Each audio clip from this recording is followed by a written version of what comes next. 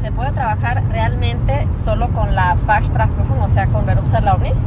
Sí se puede, pero obviamente hay que saber dónde, o sea, a qué lugar, ¿verdad? No se puede llegar a cualquier lugar a trabajar solamente con Berufserlaubnis, eso es obvio.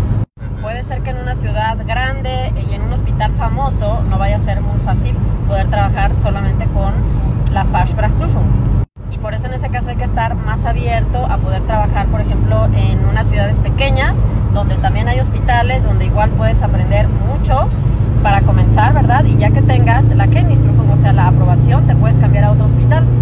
Y bueno, la verdad, en mi opinión, al principio, o sea, recién aprobada la Fachsprachprüfung, que es cuando apenas uno va a comenzar a tener experiencia en Alemania, yo no me pondría mis moños ni me haría el especial, ni me obsesionaría solamente con un hospital famoso y con tal nombre. No, no, miren, el objetivo es comenzar a trabajar para ganar dinero y pues para ir adquiriendo experiencia y mejorar todavía el idioma y ya después ya se podrán cambiar a otro hospital, eso es lo de menos, van a ver, o sea, el tiempo se pasa más rápido de lo que uno piensa y en cualquier momento te puedes cambiar después de hospital ya con, ya con aprobación.